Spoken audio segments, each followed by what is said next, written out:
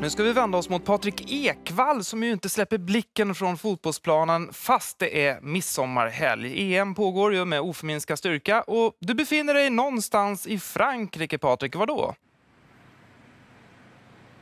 Jag befinner mig precis vid schweiziska gränsen i det fantastiskt sagolika eh, Annecy, eh, staden vid sjön. Ja, det, det är helt eh, sagolikt här. Vi har en del åttondelsfinaler framför oss eh, idag. Vad ser du fram emot?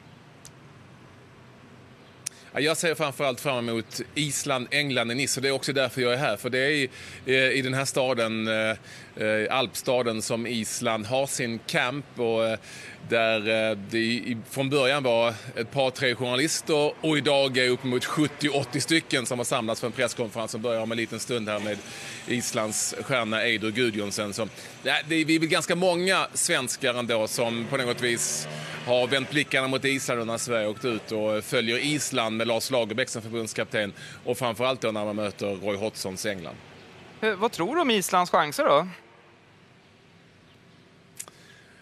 En sak har man lärt sig, det går inte att räkna ut de här killarna, islänningarna. De, det känns som att de kan eh, springa igenom berg om det så skulle vara.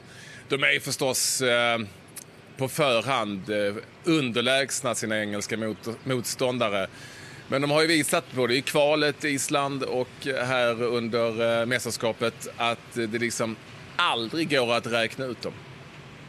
Du vet Patrik, det är ju lite grann som när jag var sportreporter på Norrköpings Tidningar när jag var 16 år och man frågade de här tränarna för division 5-lagen och de alltid svarade allt kan hända, bollen är rund. Lite så är det, men i det här fallet så tror inte islänningarna bryr sig så mycket om hur rund bollen är utan hur mycket de kan springa och hur mycket de kan störa engelsmännen genom sin uppoffrande stil. Ja.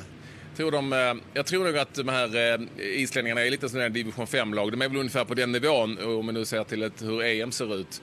Men de vet att ingenting är omöjligt och det är också lite det som är charmen med det här fantastiska laget. Till sist då Patrik, vad är det vi inte får missa idag? Ja, åttondelsfinalerna drar ju igång eh, och eh, det är ju eh, några fantastiska matcher vi har framför oss. Vi hoppas också att det här mästerskapet tar lite fart nu eh, när det är slutspelsmatcher och det krävs att man måste vinna. Det har ju varit lite tråkigt så här långt under, under gruppspelsmatcherna. Så jag, ja, min förhoppning är att det tar fart nu och vi får se lite bättre och kanske lite roligare fotboll vad det nu är. Tusen tack för det Patrik och vi får anledning att återkomma till dig.